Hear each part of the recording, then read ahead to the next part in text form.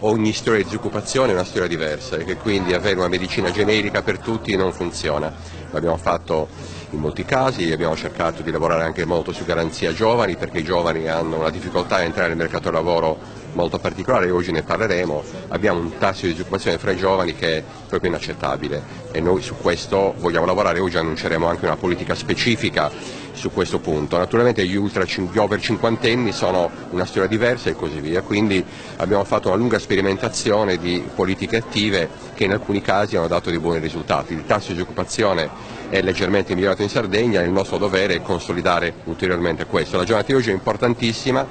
perché porta nello stesso luogo migliaia di persone, centinaia di aziende ed è molto importante che ci si parli. Deve essere chiaro che stiamo vivendo tempi molto complicati dal punto di vista del lavoro. Lavori vecchi sono oggi non più richiesti, competenze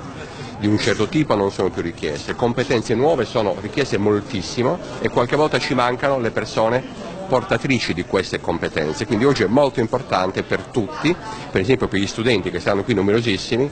farsi un'idea precisa di ciò che le imprese, le imprese stanno cercando. Ricordatevi che i dieci lavori più richiesti oggi, dieci anni fa, non erano nemmeno pensati, conosciuti. Quindi sta cambiando il mondo e noi dobbiamo creare luoghi come questi in cui ci si parli molto tra imprese e chi deve investire nell'istruzione. Questo è il segno profondo ed è una vera politica attiva quella che facciamo oggi per rendere meno distante lo spazio tra l'impresa che cerca e il ragazzo o la ragazza che deve fare l'investimento giusto per rispondere alla domanda di lavoro dell'impresa. È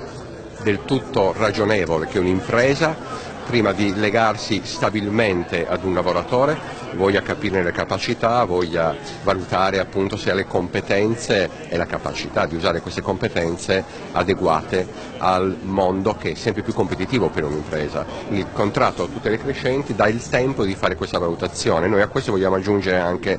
e rivalorizzare disegnandoli con molta attenzione i tirocini perché le imprese possano, per esempio nel caso dei giovani, avere il coraggio di vedere se questi giovani in che misura sono in gamba, possono contribuire a rendere l'impresa più competitiva in effetti. Si parte con un tirocinio e oggi racconteremo come noi vogliamo che poi questo tirocinio, quando ci sono le qualità, quando c'è l'incontro positivo tra impresa e